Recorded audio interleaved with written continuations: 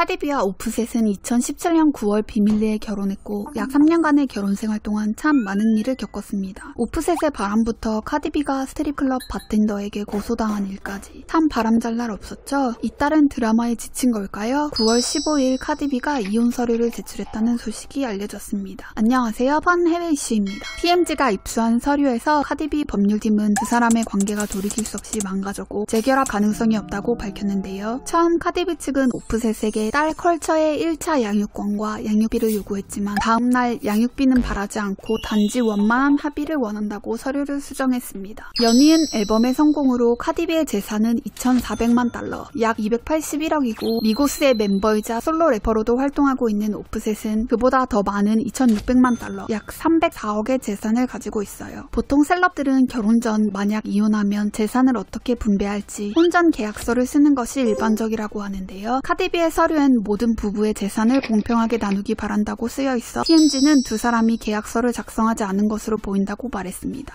이혼 이유를 두고 여러 소문이 돌고 있어요. 그중엔 예전 오프셋과 바람을 피웠던 썸머버니가 그의 아이를 가졌기 때문이라는 루머도 있었지만 기사에서 카디비 측근은 이는 전혀 사실이 아닌 뜬 소문일 뿐이라고 일축했습니다. 두 사람의 이혼 소식에 안타깝다는 의견도 있었지만 놀랍지 않다. 재결합하지 않길 바란다는 의견도 있었어요. 왜 이렇게 반응이 엇갈리게 됐는지 빠르게 알아볼까요? 16년 이벤트에서 처음 만난 두 사람은 같이 노래를 발표하며 가까워졌고 머지않아 비밀리에 결혼을 했습니다. 거의 1년 뒤 TMZ가 결혼증명서를 발견할 때까진 누구도 이 사실을 몰랐다고 하네요. 비밀 결혼 한 달 뒤 오프셋은 무대 위에서 공개 프로포즈를 했고 나중에 당시 이미 결혼한 뒤였다는 사실이 알려지며 홍보를 위한 쇼였냐는 비판을 받기도 했습니다. 이에 카디비는 사생활을 지키고 싶어 결혼 생활을 알리지 않았고 공개 프로포즈는 단지 오프셋이 특별한 프로포즈를 해주고 싶어서 했을 뿐이라고 설명했습니다. 결혼하고 약 3개월 뒤 오프셋이 바람핀다는 루머가 퍼졌고 인터넷엔 오프셋으로 보이는 남자가 여자와 관계하는 영상이 돌았습니다. 그래도 두 사람은 결혼을 계속 이어가기로 하고 카디비는 4월 임신 사실을 발표했죠. 7월엔 너무 귀여운 딸 컬처가 태어나 축하를 받았습니다.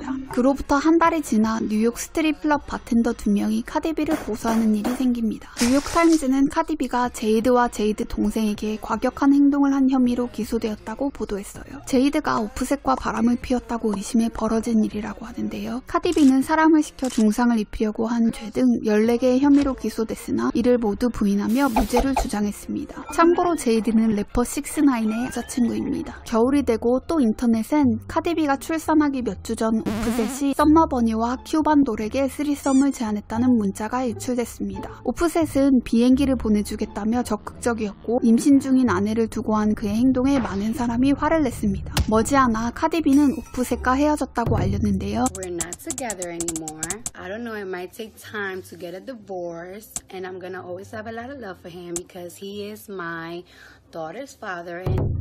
이 일에 책임감을 느낀 썸머버니가 울며 사과의 메시지를 전하기도 했습니다. 한편 오프셋은 자신의 잘못을 후회하며. I want to be able to spend the rest of life, my life with you.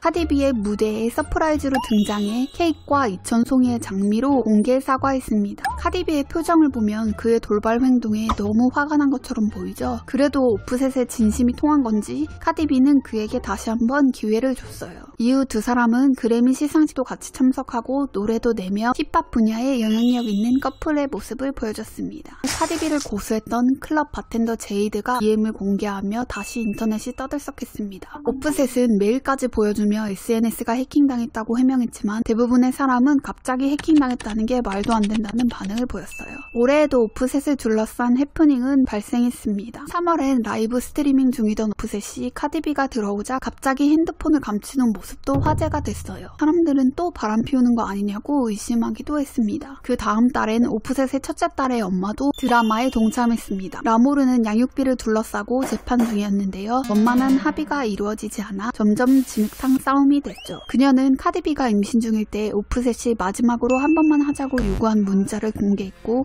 그녀가 관계를 거절하자 오프셋이 양육비를 주지 않았다고 주장했습니다. 계속되는 오프셋의 외도에 사람들은 더는 놀랍지도 않다고 질려했고요. 일부 사람들은 왜 헤어지지 않냐며 카디비까지 비판했어요. 그래도 카디비와 오프셋은 계속해서 사이좋은 모습을 보였습니다. 귀여운 딸 컬처와 두 사람이 같이 찍은 사진도 SNS에 자주 올라왔어요. 하지만 7월 이후엔 같이 있는 사진도 뜸해졌고 9월 15일엔 이혼 서류를 제출했다는 뉴스가 알려졌습니다. 인터넷에서는 모든 여자는 한계점이 있어 카디비는 이제 더는 참을 수 없는 지경까지 온 거지. 한 번 바람 피운 사람은 계속 바람을 피워 카디비가 더 빨리 이혼하지 않았다는 게 놀라워 다시 사귀지 않았으면 좋겠다 라고 반응했습니다. 여러분도 한 번 바람 피운 사람은 계속 피운다고 생각하시나요? 저는 영상 만들면서 너무 스트레스 받았어요. 당사자인 카디비는 정말 마음고생이 심했을 것 같아요. 앞으로는 딸 컬처와 같이 꽃길만 걷길 바랍니다. 다들 건강 조심하시고요. 금방 또 만나요. 여러분 사랑해요.